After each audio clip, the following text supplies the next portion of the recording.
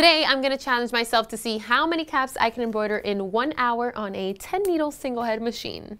I personally think I can embroider about six to seven in an hour, which might seem like a lot, but it's really not because I'm gonna employ some really good efficient tips that I will be sharing with you guys throughout this video.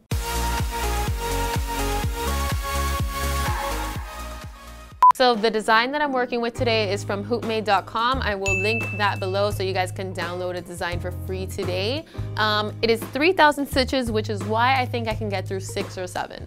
So knowing how many stitches are in this design, let me know how many caps you think I can get through. And don't skip to the end to find out. We want you guys to guess in the comments below and then watch the video and see if you're correct. So first off, whenever I have to do a large run, I always make sure that I have the needles for the specific fabric that I'm working with programmed already on the machines. So typically I have my um, cap embroidery needles, the one through four, and then my small lettering needles would be like five through eight, and then my regular needles would be nine and 10. All right, next up, I also grabbed my box of bobbins and I made sure that I have a completely full bobbin for this run.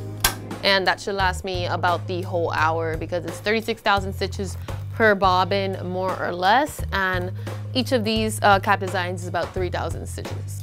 I also have my tearaway backing pre-cut into the perfect size for caps. I keep some of these um, already cut for when I have to do big runs like this one. I also have my hoop station already uh, on my machine. I keep it there at all times for when I'm gonna do my cap embroidery. And I have my two cap rings. One of them is already on my hoop station and the other one is right here uh, for when the other one is running. I also have all my caps ready to go down here on this little uh, kind of like table that the machine stand comes with.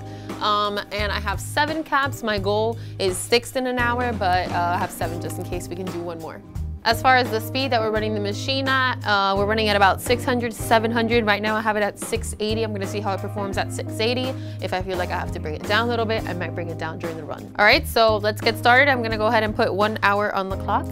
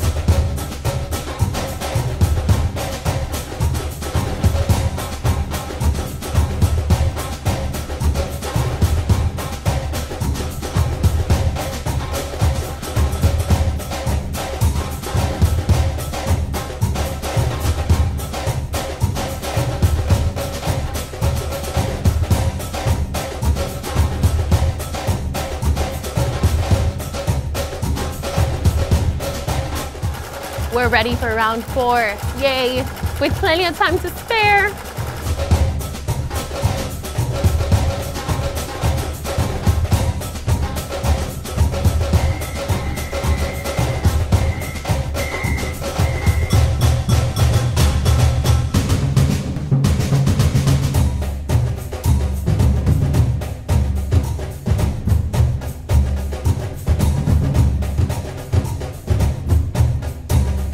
So we're at the halfway mark and we are about halfway through with design number four. So we're in pretty good timing. I think we're gonna have some time to spare. And we actually had some technical difficulties with my mic, not with the machine, with the mic.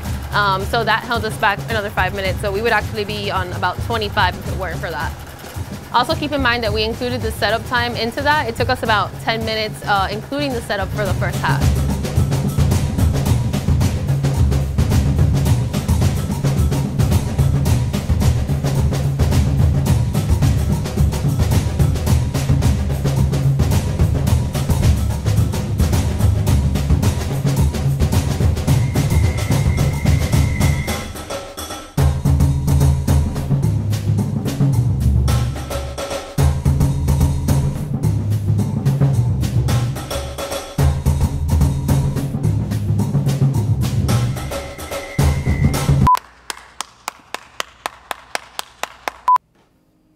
Right, so I got through six caps, each with 3,000 stitches. in less than an hour, I actually had 12 minutes and 53 seconds to spare.